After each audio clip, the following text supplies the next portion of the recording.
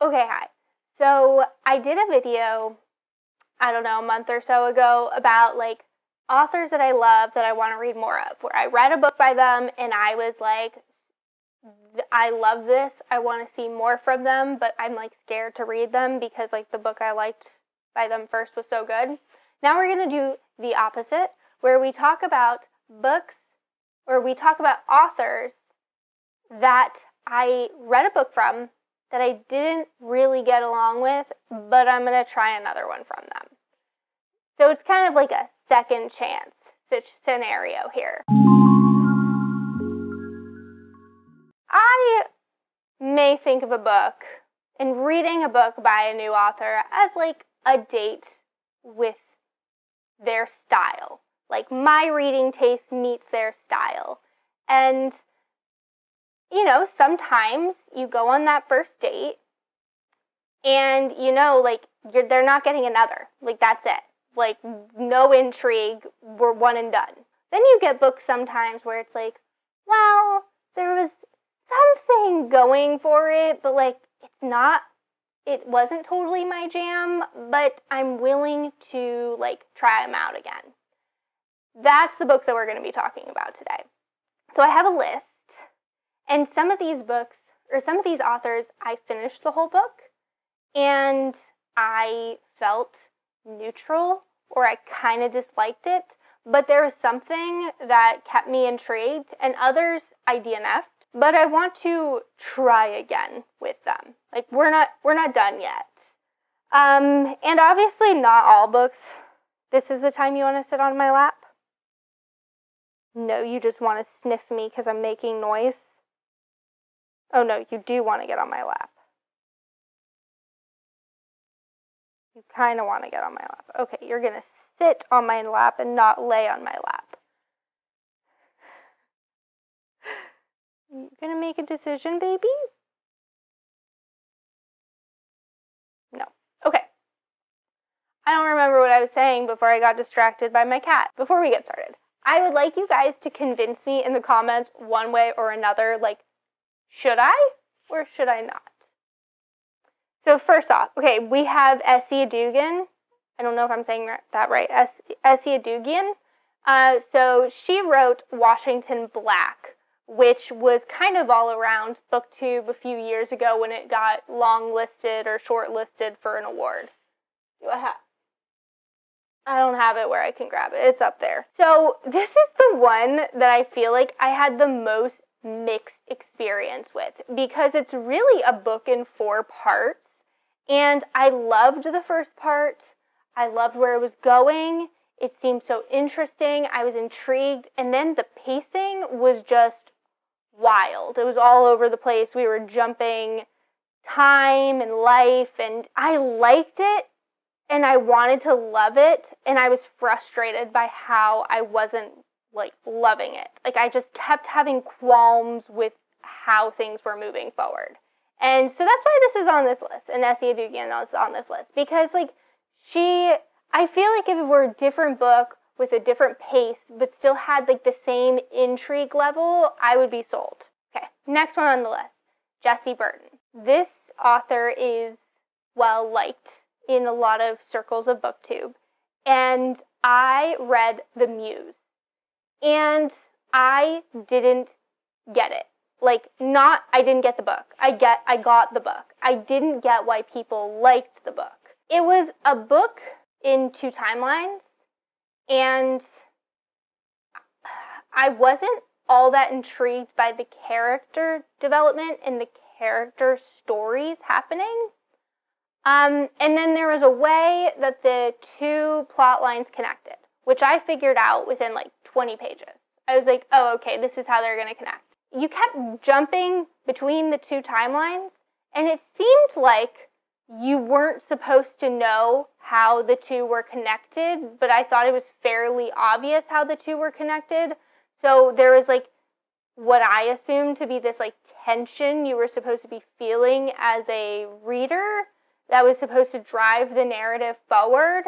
And because I thought it was pretty obvious what was going to happen. I wasn't have I wasn't feeling that. So I I kept reading. This is really before I like got like a lot more into DNFing books, um, I kept feeling like it was going to get better. I was like, there must be something. There must be something that's going to happen that's going to reel me back in. But there wasn't. Um, it ended, and I was like, oh, it ended. That's what I thought. Okay, cool. Um, and so I have a specific book in mind for this. I don't know if it's come out yet or if it's going to come out, but Jessie Burton is doing a Medusa retelling, and I think it might just be called Medusa. And that's the one I want to read because I'm more, much more intrigued by the um, plot. So I think hopefully I'll be able to appreciate the writing and all of that more. Number three, Silvia Moreno Garcia. Earlier this year, I read Mexican Gothic. And again, all over BookTube. Like, people were so intrigued. They were like, it's so atmospheric, it's so original, it's unlike anything I ever read, it's creepy. Um, and it was really just like a fine experience for me.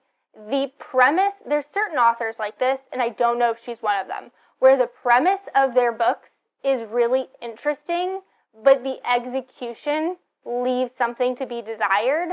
So it's like you always get intrigued by their book. You're like, oh, they're coming out with a new book, and that sounds so cool. And then you read it, and you're like, I'm getting tricked again. This is just like the last one. I don't know if she is that author, um, but I'm going to find out. So I had another one of her books on my TBR. I'll put it up here. This was the one I was originally going to read, and then Mexican Gothic got so much hype that I chose to read Mexican Gothic first. Gods of Shade and Jade and Gods of Jade and Shadow? Gods of Shade and Shadow. It'll be here. Um, so that's the one that I am planning on reading by her at a point in the future. Moving on, P. Djèlí Clark. Now, I didn't dislike this book, and I didn't dislike some of the books on this list because if I totally hated them, they wouldn't be on this list. I'm very much fine with being like, yeah, I'm never going to read this author again. Like, I have a few like that. Where, where just like, they come out with another book. I'm not fooled. Not happening. We're not jumping on that train again. Mm-mm. Nope. Anyway, I read. Oh my goodness, which book did I read by P. Djèlí Clark? I read this book. I don't know why I can't think of the name right now, and my phone is dead next to me, and I have a cat in my lap, so I can't get any, uh, can't find the info. Um, but it was, again, interesting. Found the plot line very interesting. I don't know if it was when I read it, um, but I just felt very detached from the reading experience where I felt like I was being, I was at an arm's length. Like I was at an arm's length from everything that was happening. So while I was like respecting the book itself for what it was doing and I liked like points and ideas that were in the book, I didn't necessarily enjoy my experience and this is again of an author where this wasn't the original book by them I was planning on reading. I was going to read The Black Drums. I was going to read this one first. That was the one I had heard about originally, but then Ring Shout. That's what it is. Ring Shout was getting a lot of hype, and the plot sounded very interesting. Again, this author's plots all sound very interesting. So then I I changed my mind and I am going to try another book. Their books are all like very short, so I should be able to fit that in at some point. Are priorities, too. I'm just going to say that. Like, none of these reads are priority reads. It's just like, I'm intrigued. Like, maybe we'll have a second date at some point in the future. I'm really pushing this metaphor. Next, we have Rivers Solomon. Again, a book I didn't necessarily dislike, and you know, this experience was very similar to my one with Ring Shout, where the premise was really interesting. I was seeing a lot of intrigue about it. I, I, conceptually I liked it. I liked the points it was making. I liked what was happening in the narrative as I was reading it. However, again, I felt at an arm's length from everything that was going on. I, I didn't ever feel super connected to the plot. Um, or the characters, I guess. Maybe it's a character connection that I was missing from those two, where I, I, I didn't get, maybe I didn't, I don't understand character motivations, or I don't feel like I'm deep enough in their head, or something like that. But the plot itself is intriguing. So I do want to read another book by Rivers Solomon. There's Sorrowland, which I've seen, and then there is another one that they've written. You can tell I didn't take notes um, that is older. That was again one that I was originally planning on reading, but then this one was getting hype all over the place. So then I read this one instead. And maybe I am learning that I shouldn't do that. I should just go with my gut and read the original one I was planning on reading by an author. Hmm. This one I might read in the nearer future. Next, we have Melissa Broder. So I read The Pisces. And again, I didn't hate the book. I hated the main character. She was a nightmare of a human and uh, couldn't empathize. I love unlikable protagonists. I think it's so fun to read a book where the, you just you really don't like the protagonist. They're not necessarily a good person. Uh, I like being in their heads. I like seeing, I guess, meaner thoughts on the page. I don't know. Uh, I don't know what that says about me. I'm like, I get along with these unlikable uh, characters. But I didn't like this character. Um, it was weird to me. I, like, I didn't relate. This the main the protagonist is like in her 40s, hasn't gotten her life together, can't even take care of a dog. Like, there is harm to a dog in this book, which I was mm, I wasn't uh, a fan of, and well, neglect of a dog, I should say it, but it was weird. Like she's like has a thing with a fish, with merman, fish guy. Uh, but I, yeah, I hated her, and but I was still intrigued by the writing. And there is she, Melissa Broder, Broder has a book out called Milk Fed, which um, I think I've seen like maybe marginally better reviews for, but she is just a very polarizing author and I'd like to read another polarizing book. And if neither of those work for me, I could probably safely assume at that point that, like, we're done. That's it. I feel like these are a lot of booktube darlings. Um, okay, another one is Sarah Moss. So I read Ghost Wall a few years ago. And again, I feel like I'm a broken record with these. The plot was interesting sounding. You know, I was very intrigued by what was happening dynamically, but I just wasn't connecting. And right after, while I was reading this, I was kind of like teetering into a reading slump. So that might be part of the problem with her because I've also read or watched a lot of videos of people whose reading taste I have a lot of similarities with, really liking Ghostwall. So I'm like, maybe it was just me in this situation, but I don't think I would want to reread Ghostwall. I think I would want to go on to her nonfiction about Iceland. I think her time in Iceland, and then maybe pick back up into her fiction uh, if I enjoy her nonfiction, because that's dynamically completely different. And I think the same author can, you can maybe appreciate their nonfiction and not like their fiction. So I'm going to go into her nonfiction next. Okay. And then we have Marlon James. So, again, another situation where I was planning on reading one book and then I read another one instead. So, I was originally planning on starting with A Brief History of Seven Killings. And then his black black leopard, red wolf, red wolf, black leopard I'll I'll have it up. Um, that came out and it was again getting so much hype, and I was sucked in, and I read it, and I pushed myself through that book pre pre L DNFing Queen.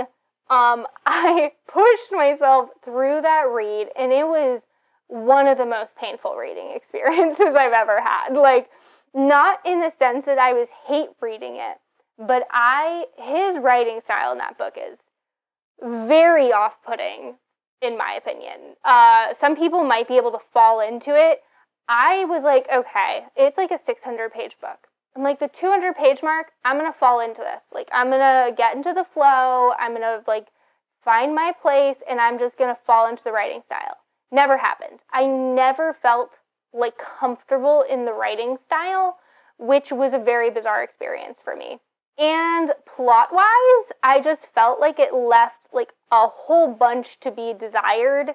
Uh, it was following a lot of tropes. I didn't like the choice of ha- of perspective of the narrative and it just kind of felt like it didn't work at all. It, it it just the package didn't come together well for me. But I have heard such good things about a brief history of seven killings that I feel like I still want to try it. But that one, if I do not fall into the writing style relatively quickly, I will DNF it. Um, but I am I still am intrigued. I still where is it?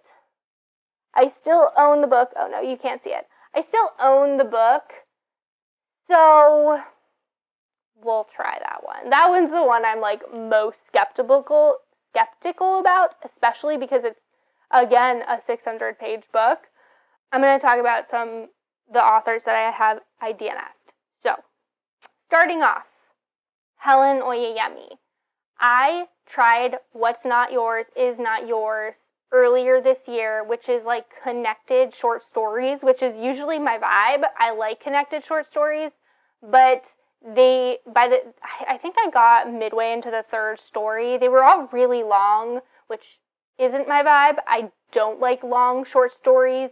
I typically like shorter ones, like 30 pages.